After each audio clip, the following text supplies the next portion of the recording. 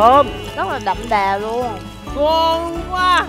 Món ăn tương phở của bên Nhật Bản không có nhiều lắm.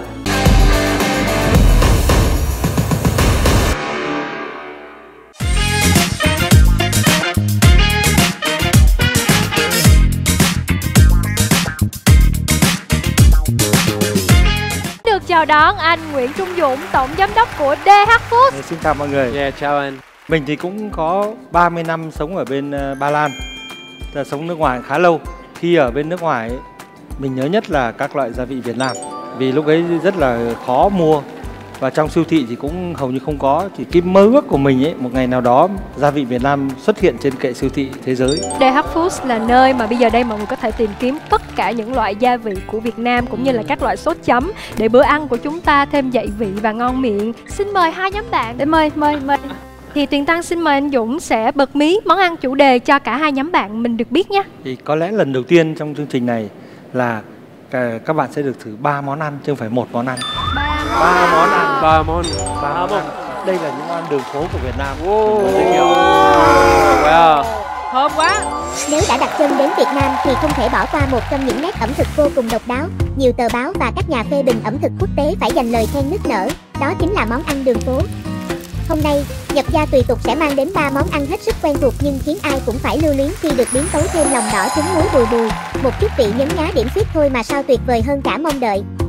Đặc biệt, món ăn chế biến cùng sốt trứng muối cần phải canh chuẩn liều lượng dậy vị và không bị tanh. Đầu tiên chính là bắp. Bắp tàu đã được xem là thức vặt bình dân và rất quen thuộc.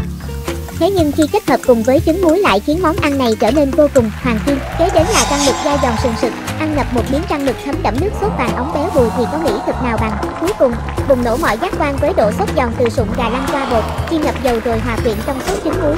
Ba món ăn này mà thưởng thức vào những ngày mưa thì chắc chắn nhớ mãi khó quên.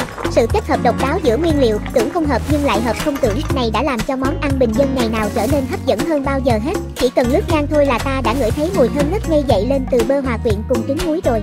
Đảm bảo sẽ chẳng ai có thể kìm lại cơn thèm đâu nha.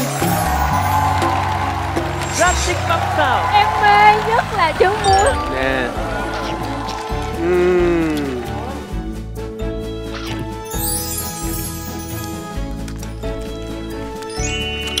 thơm rất là đậm đà luôn ngon quá Món ăn tương phở của bên Nhật Bản không có nhiều lắm ừ, Ở Việt Nam nhiều lắm Nơi nào cũng có món ăn tương phở really good. Bùi, béo, có cái vị ngọt của bắp bên trong đó nữa, quá tuyệt vời. mà cái vị trứng muối rất là tinh tế nha tại vì á nếu như chúng ta làm trứng muối mà làm không khéo nó sẽ bị ngấy.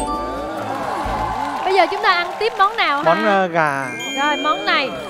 ăn đi dũng. Đây cũng là Dũng. À, anh Dũng gì? ừ chứ phải nói Dũng đi chứ đây cũng là Dũng mà. Anh cũng tên dũng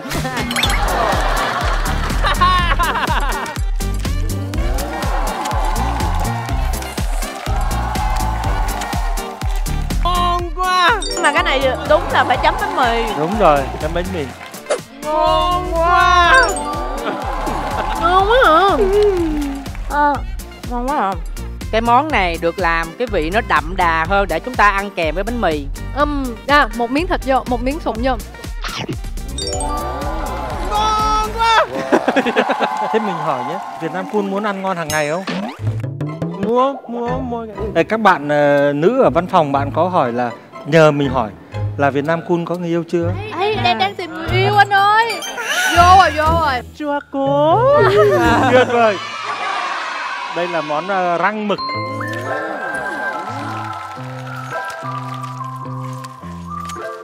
Phủ một chút bột để bên ngoài nó giòn nhưng bên trong nó vẫn mềm. Dạ ngon quá.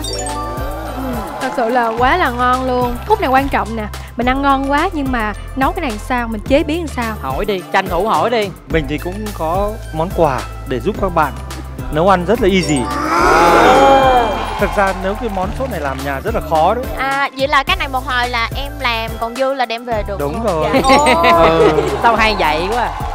thiếu thì chỉ cần gọi điện cho Death Food là sẽ giao tận nơi yeah à nhưng mà em đang thắc mắc nha tại vì hồi trước em có làm mắm chân đồ em chưa có làm trứng muối bằng sốt đó thì là cái trứng muối là mình mình nấu ra hay là sao anh à cách làm truyền thống thì mình phải nấu cùng với các gia vị phải có sữa có một số gia vị nữa À. và quan trọng là tỷ lệ như thế nào ừ. đấy cái đấy nó rất là khó phức tạp Với lại em sơ chế nếu không nó sẽ để để lại cái mùi tanh đó. Ờ, chứ không phải là mình mua cái trứng muối về cái mình quậy ra là xong. Cũng sẽ có trứng muối nhưng mà bên cạnh đó phải có sữa bột bắp nước mắm Ồ. rồi ờ, tương ớt để tạo được cái hỗn hợp sền sệt.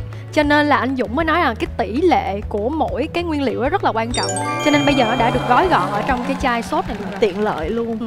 siêu sẽ tiện rất là tiện lợi cho những người chưa biết gì về cái việc sơ chế trứng muối. Cứ để vào trong món ăn còn nếu như mình thích ngọt hơn hay mặn hơn mình tùy thuộc vào nêm nếm sau đó nữa. Có thể không cần nấu mà mình dùng để chấm làm sốt chấm. Ồ, vậy hả? mọi người ơi nghe xong đói bụng quá. Nấu đi giờ nấu liền đi nha nấu, nấu liền dứt liền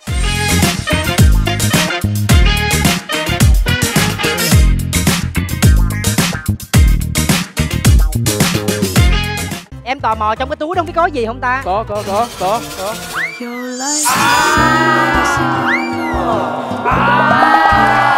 Đây là Sumo Tôi tin tăng Nhật Bản. Với tinh thần Nhật Bản. Việt Nam cường Hôm tua dùng tao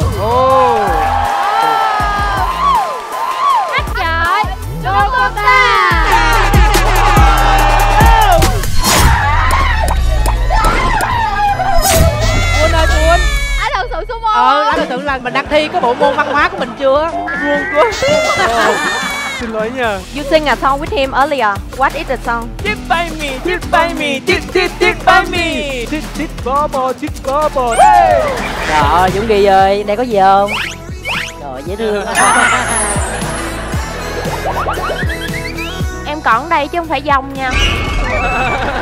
Trai không? Cũng được. Mẹ Hả?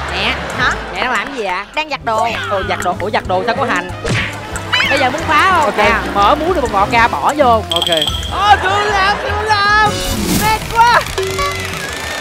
Lại lại. Trời đất ơi, tự nhiên cái tôi tỉnh lại liền luôn. Tự nhiên tôi hết hồn rồi. Cùng đón xem nhấp Gia Tùy Tục. Vào thứ hai hàng tuần lúc 20 giờ 30 trên kênh VTV3 và 21 giờ 30 trên kênh YouTube TV Hub.